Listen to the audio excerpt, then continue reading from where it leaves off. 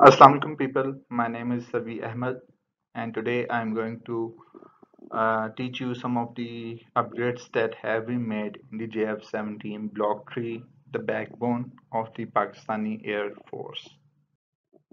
So JF-17, which is also known as CAC FC-1 Xiaolong in China, was developed by a joint venture between Pakistan Aeronautical Complex and Chengdu Aircraft Corporation. Basically, JF-17 is a lightweight, single-engine, multi-role combat aircraft. But does multi-role mean it can? There is a fight going on between two fighter pilots. It can intercept that fight and help the friendly fighter. It can also take part in a dogfight. It can attack ground targets. It can attack sea targets such as ships, and it can also act as a aerial reconnaissance. Aerial reconnaissance means imaging of the target. So basically it can act as a drone and take images of the target which has which are they going to blow up or they have already blown up. Next, let, let's talk about some of the updates which are being made in the JF17 block 3. So the most first and all most important uh, update made is in the body. Steel and titanium has been used in higher percentage in the building of block 3.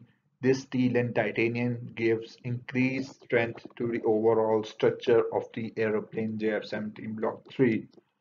But we do not want the weight to be increased so we used composite material. What does composite material do? Composite material helps the plane in two ways. First, it reduces the weight of the aeroplane. Second, it increases the cross-section area of the aeroplane, thus decreasing it thus increasing the stealthier capacity of the aeroplane.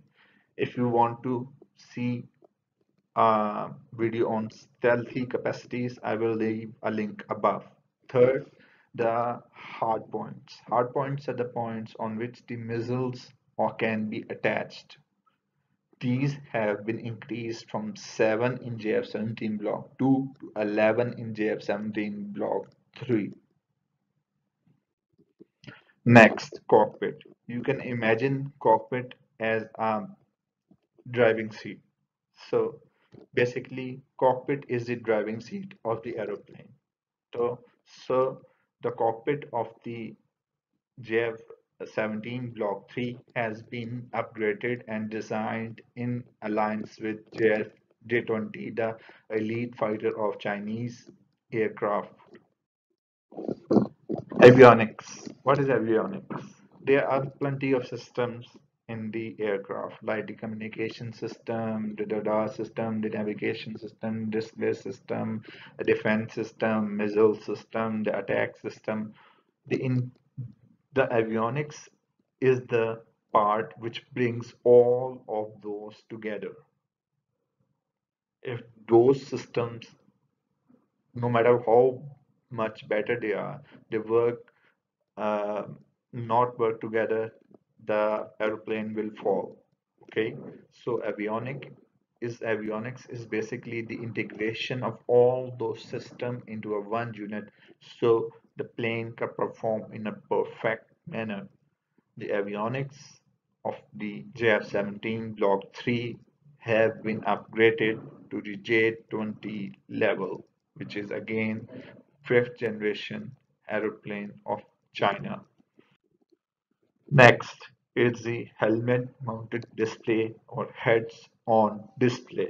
What is helmet mounted display and heads on display?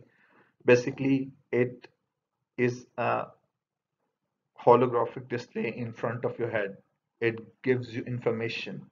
Basically, for example, if a missile is approaching, the air defense system, infrared defense system will detect it and show it upon on the screen ahead so you can take measures either you can dodge it you can uh, lay a decoy or you can release a pod to destroy that uh, missile. Okay? Also it gives you awareness of the surroundings of the surroundings. How, how many of the friendly fighters are there? How many of the enemy fighters are there? So all of this is shown on the holographic wide angle heads up display with the help of helmet mounted display next next this is the KLJ-7A AESA radar system AESA stands for Advanced Electronically Scanning Array. This is one of the world's best radar system. Why? It can detect 15 aeroplanes, 15 aeroplanes at a time and engage with four of them at a time.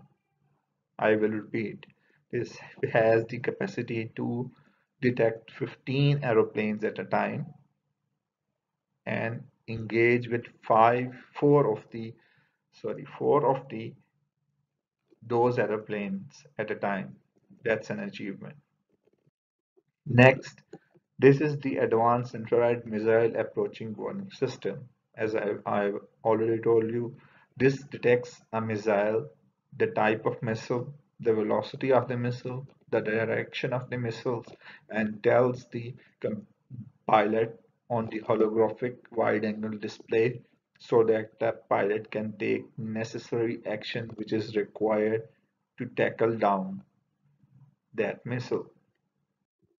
Next, the engine used in the JL, JF-17 Block 2 was RD-93 and it gave it a velocity of uh, about approximately 1800 km per hour um, this engine was made in Russia. So there was a lot of controversies going on, but Russia has now given Pakistan the RD-93MA, which is a more efficient and a better engine than RD-93. And it has, it is going to be used in JF-17 Block 3. Currently, the delay in JF-17 Block 3 was due to this engine as Pakistan Air Force was going to receive uh, about a fleet of uh, 15 JF-17 Block 3 in uh, June 2020 but due to the delay in this engine because engines also take testing about uh, three months of testing the testing of this engine has been completed this engine has been provided to Pakistani aeronautical complex. They are integrating this engine into the uh, JF-17 Block 3 and inshallah by the end of this year this engine will be provided to Pakistan Air Force. Next, these are some of the additional missiles which has been advanced, uh, which has been uh, installed in the JF-17 Block 3. First is the PL-15 Beyond Visual Range. This is a deadly missile. Meteor missile has a range of about 60 to 70 kilometers. This has a range of 300 kilometers. PL9C wide visual range. Is a 22 kilometer. This is excellent for a dogfight. PL8 wide visual range missiles. RAAD MK2 nuclear air-to-surface missile. This is basically a cruise missile which has the capacity to carry nuclear weaponry. RAAD-1 was already integrated in JF-17 Block 2. So RAAD-2, 3, RAAD-2 have been integrated in JF-17 Block 3. So this is the end of the video if you want me to make a video on another aeroplane about its specifications let me know if you want to correct me about some of the information please let me know.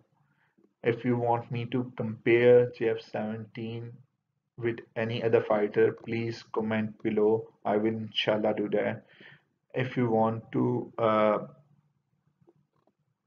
make uh, make amendments to my presentation, please uh, comment below. I will be very thankful for to you. These videos make take a lot of time to, to make and I will be pleasure if you will just uh, say thank you or uh, say a small comment below. It means a lot to me. In the end, if you like this video, like press the like button and subscribe to my channel. Allah Hafiz, Pakistan, Zindabad. Thank you.